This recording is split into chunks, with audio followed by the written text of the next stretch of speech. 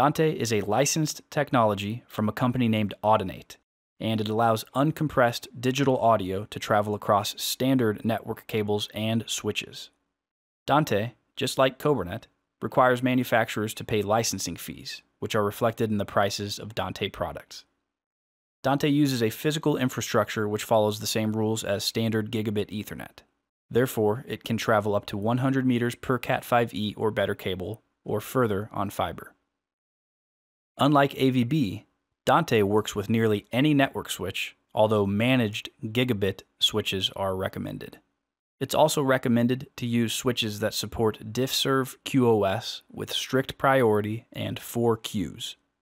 DiffServ stands for Differentiated Services, and it's a fairly common quality of service feature which you can use to prioritize Dante clocking and audio signals on a network. Any IT professional will be familiar with DiffServ, and it means Dante can happily coexist with other traffic on a mixed use network. In other words, unlike Cobranet, it's usually unnecessary to create separate VLANs or physical networks for Dante. The maximum input output capacity per Dante device depends on the device.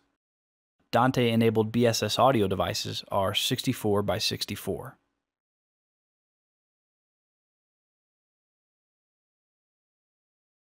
Technically, these channels get subdivided into groups called flows, which contain up to eight channels.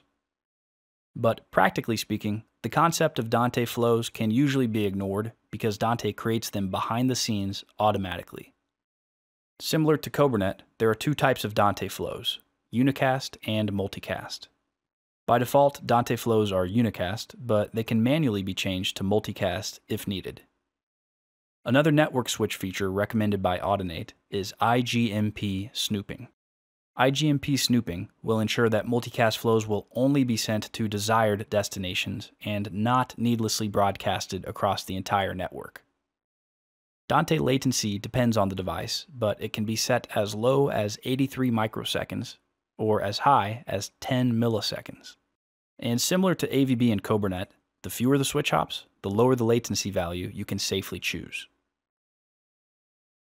Many Dante enabled products have a primary and a secondary port for redundancy.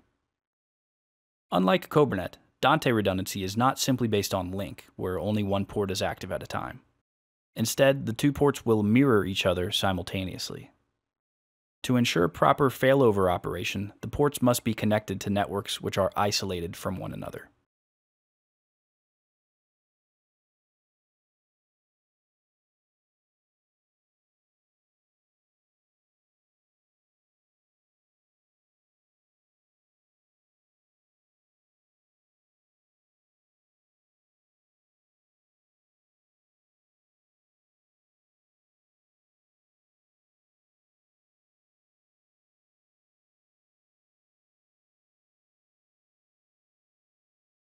There are two non-Harman software applications related to Dante, Dante Controller and Dante Virtual Sound Card. Dante Controller is a free software application from Audinate for Mac or PC. It's used initially to establish routing between physical devices. Audio will then flow between devices with or without Dante Controller running on the network. Dante Controller can then optionally serve as a tool to control, monitor, and troubleshoot Dante activity on the network. Dante Virtual Sound Card, or DVS for short, is a paid software application from Audinate for Mac or PC.